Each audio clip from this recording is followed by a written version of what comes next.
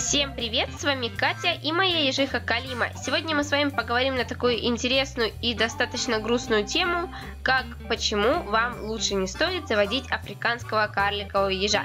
Почему тема печальная? А потому что не каждый себе может позволить ежика из-за некоторых причин, которые сегодня мы с вами разберем. Давайте не будем тянуть и поехали!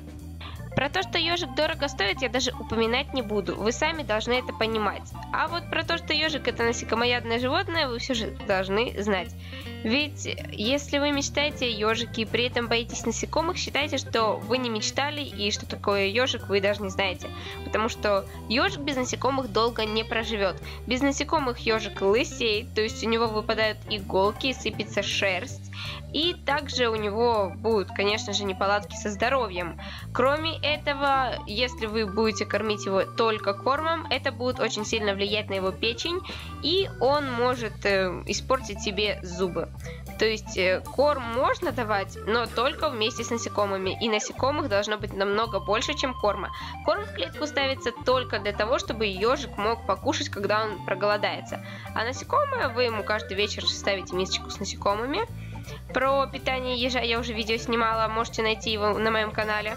Вот, мисочка должна быть с насекомыми и с кормом. Корм он будет кушать, когда проголодается. То есть это так, на всякий случай. И то его нужно насыпать в меру.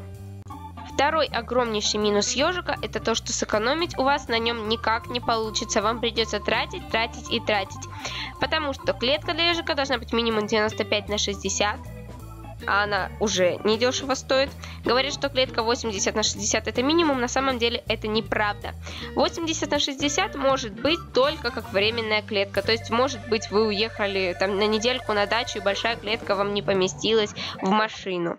Может быть с вашей большой клеткой что-то случилось.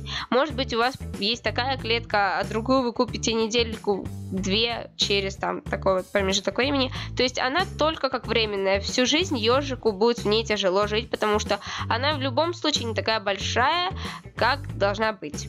То есть русским языком клетка 80 на 60 просто не дотягивает до минимума.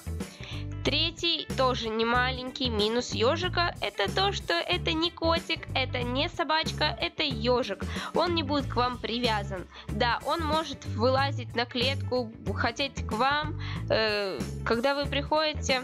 Таким образом, ежик просто клянчит у вас еду, больше ничего. То есть он ждет вас, пока вы его накормите. Он не считает вас как своего хозяина.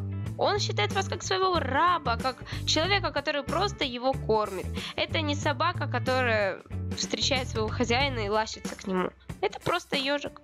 Четвертый минус встречается достаточно часто, если вы покупаете ежика из другого города, не видя, как он выглядит. Ну, вот такой. То есть вам присылают его фотки, говорят, что это милейший ежичек, самый лучший в выводке.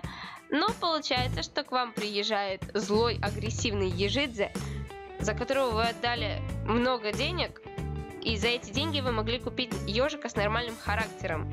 То есть вы понимаете, да, вы заказываете нормального хорошего ежа, к вам приезжает какой-то злодей, который растопыривает свои иголки и мечтает о том, чтобы вас не стало, чтобы он был тут королем. Да, такое бывает и достаточно часто, как я говорила уже ранее.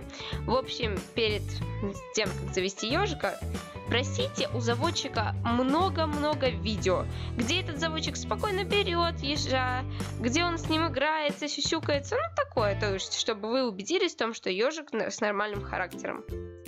И пятый завершающий минус заключается в том, что ваш ежичек может сделать кое-что очень плохое. Значит, лежите вы в кроватке, фоткаетесь со своим ежиком в Инстаграм, ВКонтакте, хэштег «У меня самый лучший в мире ежик», он самый ласковый, он самый умный. Тут случается непредвиденное. Вы лежите и тут чувствуете на том месте, где сидит ежик, такое прям тепленькое, тепленькое что-то. Вы думаете, может, ежик так нагрелся? Подумаете, вы знаете своего ежика и видите как ваш ежик на вас написал или накакал. а может два в одном. Да, такое очень часто бывает, потому что ежики не умеют терпеть. Они делают это там, где успевают. То есть даже не успевают, а где хотят. Им вот захотелось, они сходили и все, а вы уже дальше как хотите. Да, вот такой вот у ежиков есть минус. Ну вы посмотрите на эту мордашечку, посмотрите, какая она милая. И как можно подумать, что она может написать на этот диван? Как она написала на этот диван, у меня видео нет. То есть я его как-то не сняла, отвлеклась. А вот как она хотела накакать на него, у меня видео есть. Хотите посмотреть? Это будет жесть.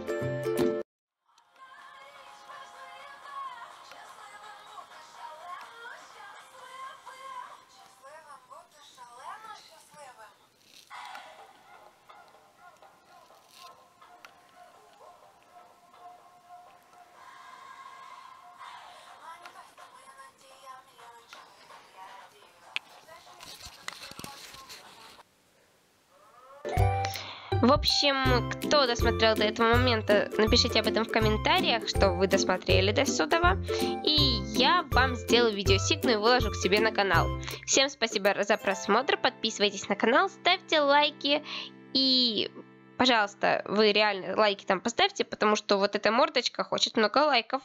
Так что вы там старайтесь это с лайками. Давайте, а то что мы зря снимали целый день. Посмотрите, как мы старались. Так что я жду от вас лайков много. Всем пока и до новых видео!